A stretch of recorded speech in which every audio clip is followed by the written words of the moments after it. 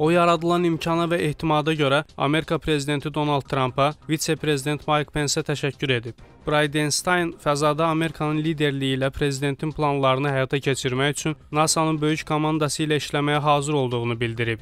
Qeyd edək ki, Amerikan SpaceX şirkəti fəzaya Falcon 9 raket daşıyıcısını göndərib. Falcon 9 planet üçün faydalı olan astronomik müşahidələr aparmaq üçün NASA-nın orbitini fəzaya çıxarmalıdır.